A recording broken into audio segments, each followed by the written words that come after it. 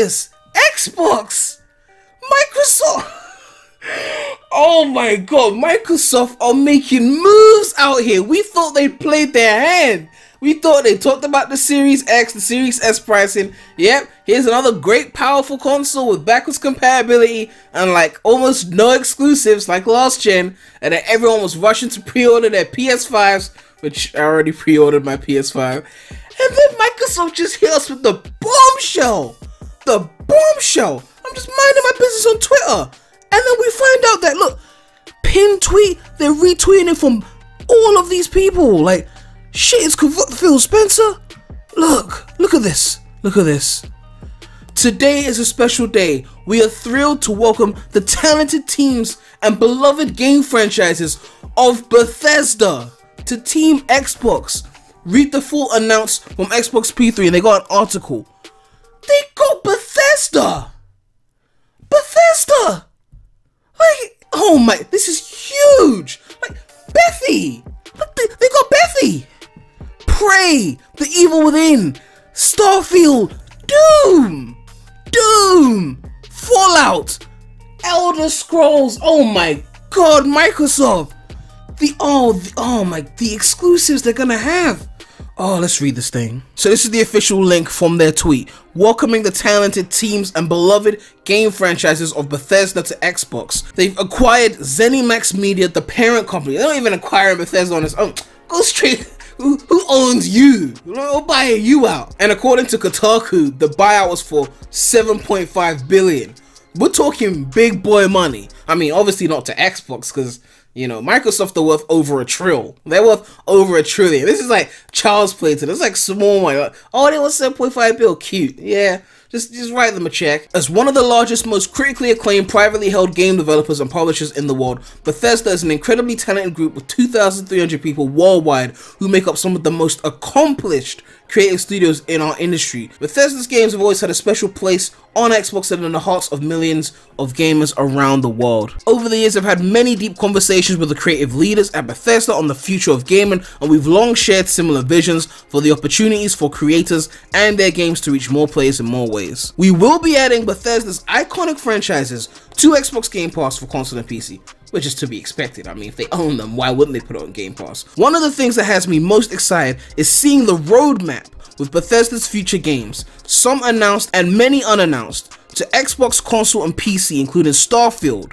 The highly, I like, I like how they put that Xbox console and PC, like, yo, it's coming to our shit, you know, Sony again, none of this no more. The highly anticipated new space epic currently in development by Bethesda Game Studios. Over the last few weeks, we've been excited to share more detail on important elements of a plan we've been building towards for years. A plan that is the fulfillment of a promise to you, the Xbox player, to deliver the most performant. That's a word? Hmm, okay, that's a word. Immersive and compatible next generation gaming experiences, and the freedom to play blockbuster games with your friends anytime, anywhere Today is a landmark step in our journey together and I'm incredibly energized by what this step means for Xbox. Please join me in welcoming all of our friends at Bethesda to Team Xbox. Now we're not done. We already know that Bethesda's games are coming to Game Pass.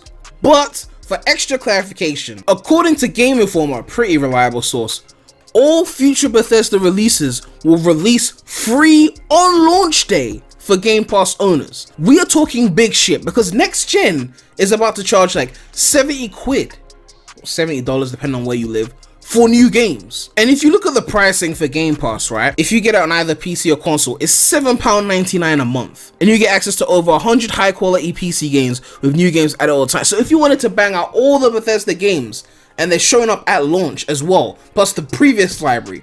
And these games are costing 60, 70, if they're older, maybe 30, and you're just paying 8 a month, you can bang out the whole library, depending on how quick you are, obviously.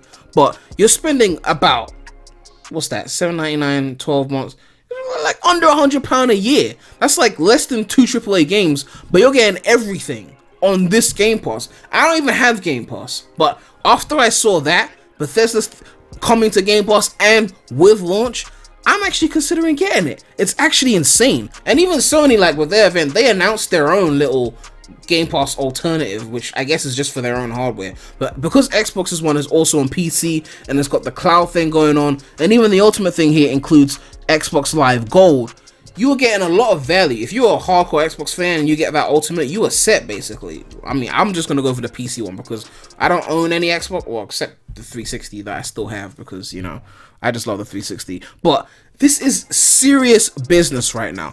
Xbox are not here to play games. Now they may not have exclusives that are only on the Xbox because obviously they're gonna be on PC as well. So as a PC gamer, I'm not like mad or anything that I pre-ordered a PS5 and that all the Bethesda games are gonna not be on PS5 because I was gonna get those kind of multiplats on PC anyway.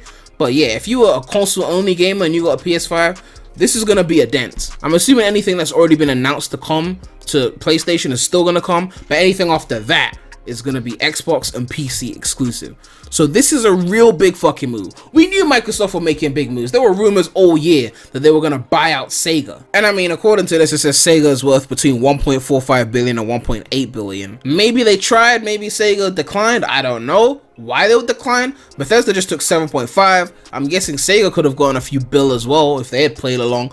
But maybe it never did happen. Maybe it was never on the table. We don't know. But the fact is, we knew that they had the power to make these kind of moves, and they just succeeded in making a big move. Big Sean would be proud, even if you cop the PS5 on launch and you really want to play some of these Bethesda exclusives or what other company they buy because Microsoft are just balling. You could just go in Series S. It will still play at like 1440p, I believe, upscale to 4K.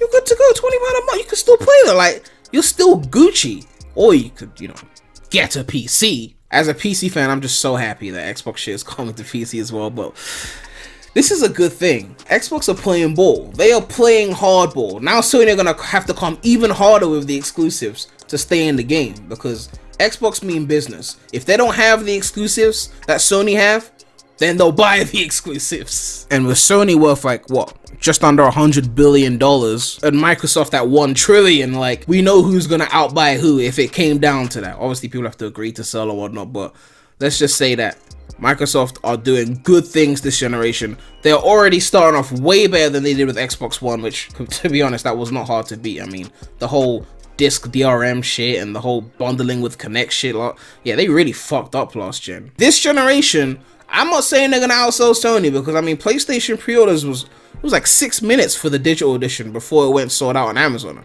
I had, to, I had to stay up and refresh for like 40 minutes.